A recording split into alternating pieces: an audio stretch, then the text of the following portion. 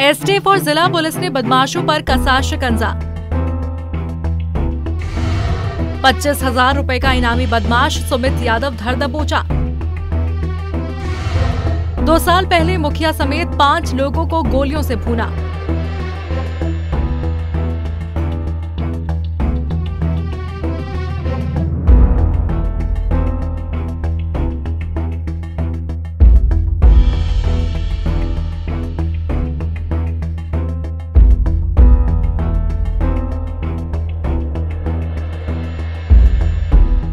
STF और मानसी थाना police को बड़ी कामयाबी हासिल हुई है। पुलिस ने पच्चीस हज़ार के इनामी कुख्यात अपराधी सुमित यादव को गिरफ़्तार कर लिया है। साथ ही साथ सुमित के चार साथी भी अवैध हथियार के साथ धर दबोचे गए। दरअसल मानसी थाने के पूर्वू ठाटा गाँव में पिछले दिनों पूर्व मुखिया समेत चार लोगों की बेरहमी से हत्या हुई थी, जिसमें सुमित यादव नामजद अभियुक्त बनाया गया था। उसी मामले में लगातार गिरफ्तारी के लिए छापेमारी की जा रही थी। इसी क्रम में पुलिस ने गुप्त सूचना के आधार पर टीम बनाकर छापेमारी की और सुमित यादव को चौथम थाना क्षेत्र के दमहारा दियारा से साथियों समेत धर दबोचा खगड़िया एसपी अमितेश कुमार ने कहा कि आरोपी पर मानसी थाने में हत्या, जान से मारने की कोशिश, चौथम थाने में आगजनी का मामला दर्ज हुआ है। कुख्यात सुमित यादव की गिरफ्तारी पर पच्चीस हज़ार का इनाम भी रखा गया है।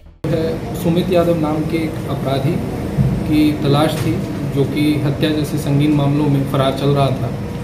और आज जो है एसटीएफ की टीम और खगड़िया ज़िला पुलिस की टीम ने धमहरा दियरा जो कि कत्यायनी स्थान के, के पास मानसी थाना अंतर्गत पड़ता है। वहाँ से सुमित यादव एवं उसके चार अपराध कर्मी जो सहयोगी हैं उसको गिरफ्तारी की गई है पुलिस द्वारा।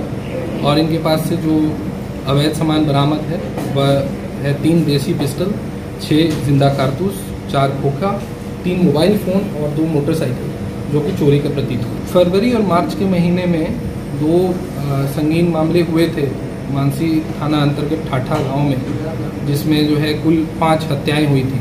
इन सभी केसेस में एवं अन्य केसेस में सुमित यादव फरार चल रहा था, जिसकी वजह से जिसकी गिरफ्तारी हेतु बिहार पुलिस मुख्यालय द्वारा पच्चीस हज़ार का इनाम भी घोषित किया गया पुलिस ने गिरफ़्तार अपराधियों के पास से तीन देसी पिस्तौल, छह ज़िंदा कारतूस, चार खोखा, तीन मोबाइल और दो बाइक को बरामद किया। फ़िलहाल मामले में संलिप्त बदमाशों का आपराधिक रिकॉर्ड खंगाला जा रहा है।